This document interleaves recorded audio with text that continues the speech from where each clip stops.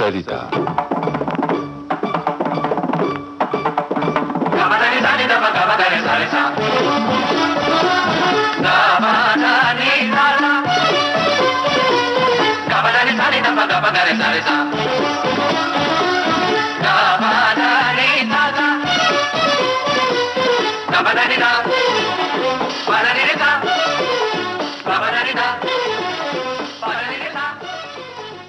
ने संगीत ताल के माध्यम से आज प्रस्तुत है इस श्रृंखला की बारहवीं और अंतिम कड़ी। आमंत्रित कलाकार हैं सुप्रसिद्ध संतूर वादक पंडित उल्लास बापट। आपसे बातचीत की है निमिश्रा मिश्रा ने।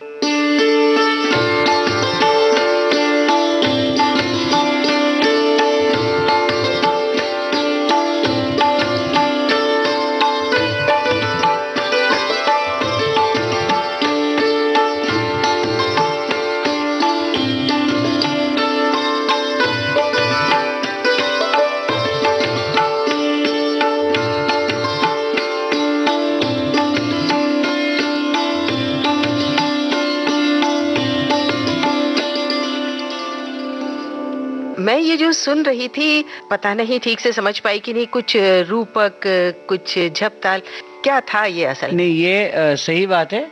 ने इसको मिक्स किया है साढ़े छः या तेरह मात्रा का ताल है। अच्छा। तो इसलिए मैंने इसको पेश किया है भीमपलास राग में था। जी जी जी। और आज मैं सोच रहा हूँ कि ऐसे अलग अलग ताल जो आड़ है आड़ को आड़ लय में चलते वैसे तो वैसे मैं कुछ आपको सुनाऊँगा। हाँ और वैसे भी पिछली इस श्रृंखला की ग्यारह कड़ियों में जो हमने आपसे बातचीत की इतनी सारी जानकारी हासिल की यूँ गाने तो हमारे श्रोता हम सब सुनते ही रहते हैं पर उसकी बारीकियों को और ताल के विभिन्न ठेकों के द्वारा कैसे खूबसूरती आती है ये आपने हमें जानकारी दी। खास करके मेरे मन में जो आया ये बात कि जो अक्सर शायद ही किसी ने सुना होगा और जब लोगों ने सुना भी होगा तो उस समय शायद याद नहीं आया होगा। जी। क्योंकि फ़िल्म सॉन्ग जो होते गाने वो तो चलते रहते सब जगह रेडियो टीवी पे सुनते रहते लेकिन किसी भी फ़िल्म का टाइटल म्यूज़िक है वो उतना बार बार रिपीट नहीं होता। जी हाँ जी हाँ। तो जबकि हम ताल की बात कर रहे थे तो मेरे मन में ये बात आई कि शालीमार फ़िल्म एक आई थी। जी हाँ। उसमें राहुल बर्मन जी का म्यूज़िक था। जी हाँ जी लेकिन उनके लिए जिनका पहले भी ज़िक्र हुआ है किरसी लॉर्ड जी। वो अरेंजर थे उन्होंने ये पीस कंपोज किया टाइटल म्यूज़िक और ये साढ़े पाँच मात्रा में किया।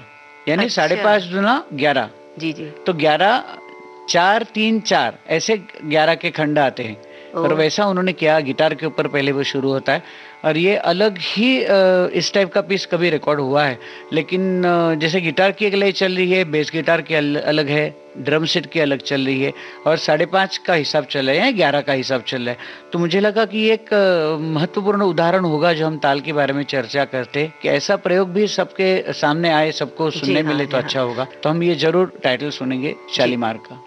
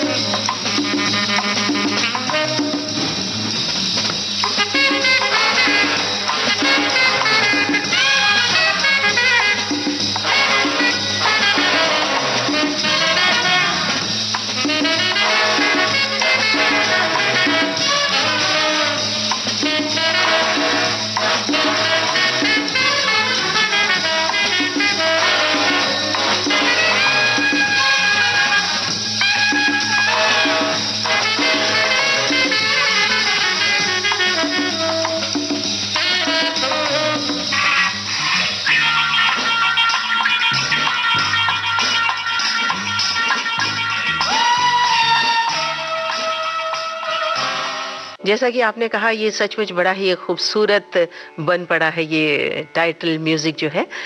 और आपके इस साज के बारे में अगर बात करें तो इसमें आप किस ताल में कुछ अलग सा अंदाज हमारे श्रोताओं को सुनाएँगे? नहीं वही तो मैं एकदम रेडी हूँ वो सुनवाने के लिए। क्योंकि क्या है जैसा ये साढ़े पाँच साढ़े पाँच ग्यारह की बात कही जी। वैसे मैं नौ का यानी अच्छा। साढ़े चार साढ़े चार के दो खंड में मैंने वो ताल को रखा है। हाँ। अक्सर क्या होता है छः और तीन का खंड रहता है। जैसे। धिन तिरकिट धी ना ती ना धागिन धात्रक धिन तिरकिट ऐसा चलता है। तो मैंने इसको साढ़े चार हिसाब से दो ये किए यानी खाली भरी का। धिन तिरकिट धिन धागे न तिन तिरकिट धिन धागे न धिन तिरकिट धिन धागे न तिन तिरकिट धिन धागे न धिन। और उसी प्रसाद जी बताएँगे? बताएँगे। और उसी अनुसार बंदिश की रचना जैसे खाली से बंदिश उठती है। वैसे इसमें भी साढ़े चार के बाद साढ़े पाँच से खाली से बंदिश उठती है।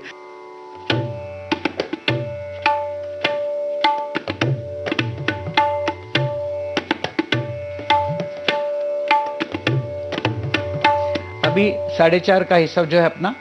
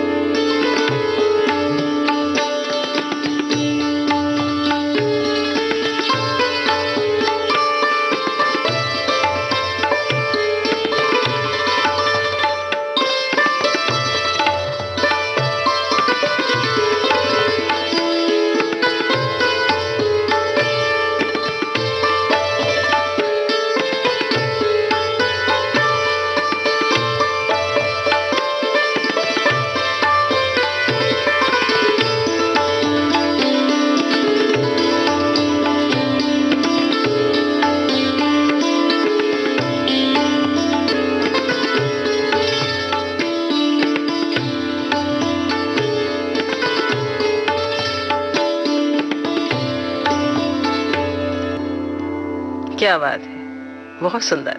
जी सा नहीं भरता है इतना अच्छा साज और इतनी अच्छी ये जो ताल का जो सब सम्मिश्रण है ये श्रोताओं पे अलग ही असर छोड़ता है। तो हम चाहेंगे कि आप कुछ और भी सुनाएँ। मुझे लगता है अभी समापन करेंगे इसका तो भैरवी हाँ से करूँ? भैरवी अरे क्या बात है। भैरवी से तो समापन बहुत ही एकदम अच्छा लगेगा श्रोताओं और को। क्योंकि हम ताल के ऊपर बात कर रहे हैं जी। तो ताल तो ये जो ठेके के बारे में हमने बात नहीं की हम्म। वैसे कैरवे का ही रूप है लेकिन भजनी ठेका इसको कहते हैं अच्छा जो अच्छा। भजन में भजन में खास तौर से प्रयोग किया जाता है। हाँ। फिर से इसकी बंदिश की जो रचना है वो अलग है। हम्म। एक्चुअल क्या है मेरा ये शौक है कि अलग अलग बंदिश हो। हम्म। कोई भी बंदिश एक जैसी दूसरी न हो हम्म। क्योंकि मुझे ऐसा लगता है कि हर राग की हर ताल की अपना एक व्यक्तिमत्व है। हम्म। उस अनुसार उसकी रचना हो तो और प्रभावित हो जाएँगी हम्म। क्योंकि वाद्य वादकों के लिए सिर्फ़ सुर और ताल है। जी। हमारे पास शब्द नहीं है तो क्यों ना ऐसी रचना हो कि जो गाने का अनुभव और गाने का आनंद आपको दे सके। हाँ। तो ऐसी ये भजनी ताल में है लेकिन इसकी जो उठान है वो हम्म। अलग जगह से लिए हुए अलग स्वरूप इसका हो जाता मतलब है। मतलब बिना शब्दों के भी उसमें वो असर भाव जाए। भाव आ जाते भाव आ हैं ऐसा है तो मैं भैरवी के आलाप करता हूँ छोटे से और वो बंदिश बजाता हूँ।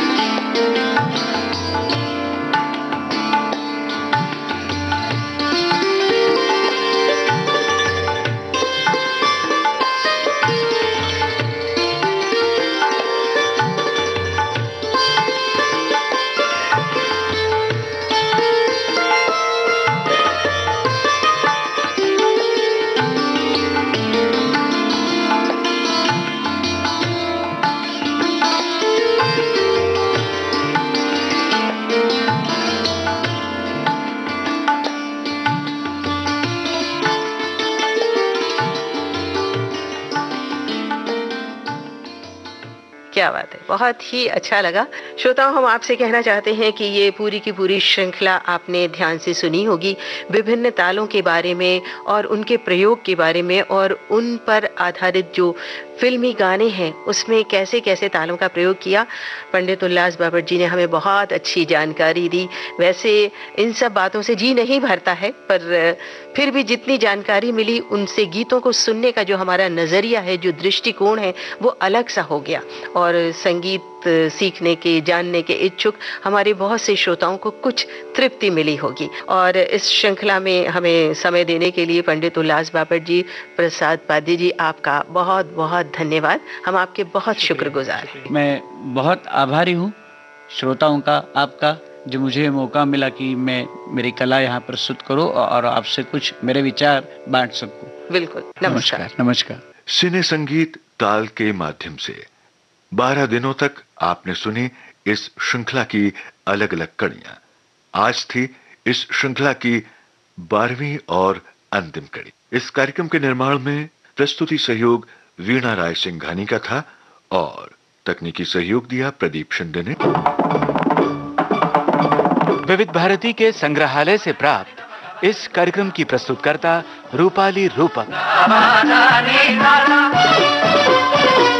Ba-da-da-da.